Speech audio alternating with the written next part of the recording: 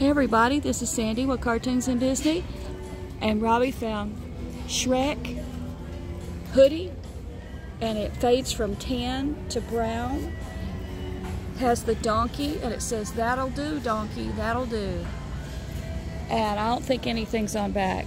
No, nothing's on back. And this is $19.98, and we're at the Walmart in Florida.